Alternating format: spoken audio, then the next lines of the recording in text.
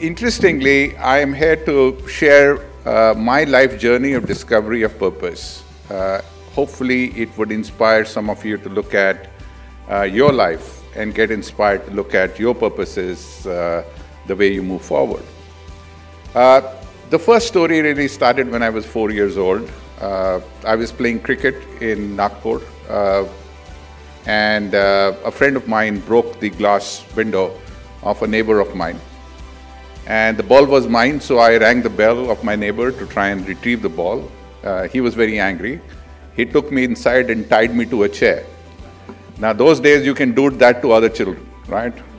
And your parents will love it because they're trying to discipline your child. So he tied me, and all my friends made a lot of fun of me, and, and uh, I started crying.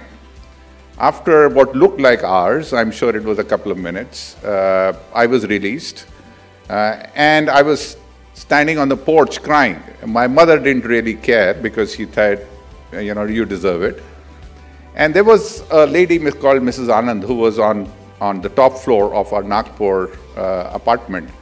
And she called me up and she stood me on the dining table and said, my name was Mintu. And she says, Mintu, what's the problem?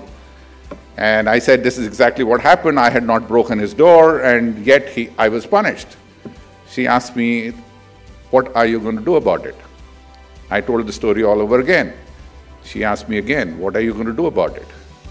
After I think fifth or sixth or tenth time, I started to dawn on me that what she's asking me is very different. Not what happened, but what you're going to do about it. I understood, got down from the dining table, went down, picked up a brick, broke another window of my neighbor, pressed the bell, and said, The first one I had not broken, the second I have, the punishment you've already given. And Dr. Chalpati Rao was very kind. He took me inside and gave me a piece of cake. But my first lesson in life is uh, shit happens. And it's not what has happened, but it is the speed at which you respond and galvanize yourself into action. So the first uh, journey of discovering a purpose uh, is the speed at which you respond and get into action, which is, which is a very critical part.